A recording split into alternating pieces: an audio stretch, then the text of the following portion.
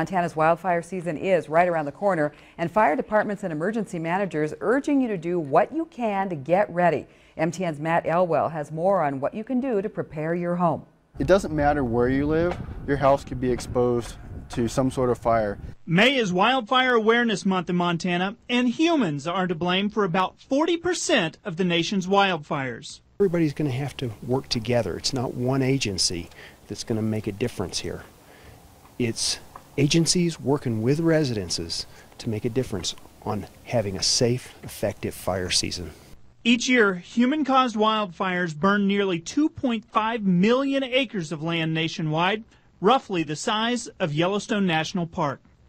There are plenty of things that you can do to get ready for wildfire season around your home. Anything from clearing out some of the dead grass that is left over from the winter to trimming back any limbs from your tree that may be too close to your home opportunity to keep green grass around your house, that's going to reduce the potential your house will be impacted by fire when a fire does come.